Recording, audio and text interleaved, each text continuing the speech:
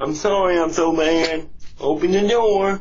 I'm sorry, I apologize. I cannot believe what just happened. First things first, this guy's back for round two, and now he's trying to apologize for some reason. This time it's two in the afternoon, and I'm just having my afternoon coffee to help me get through the rest of the day. Ring notification goes off, and come to find out, this man is back again. This time he shows up with flowers, cookies, and starts talking about, open the door, I'm sorry. I'm sorry. Sorry for what? So I start thinking, hmm, them cookies would be busting right now. So I give in and I start approaching the door to accept his little gifts, and you will not believe what happened next.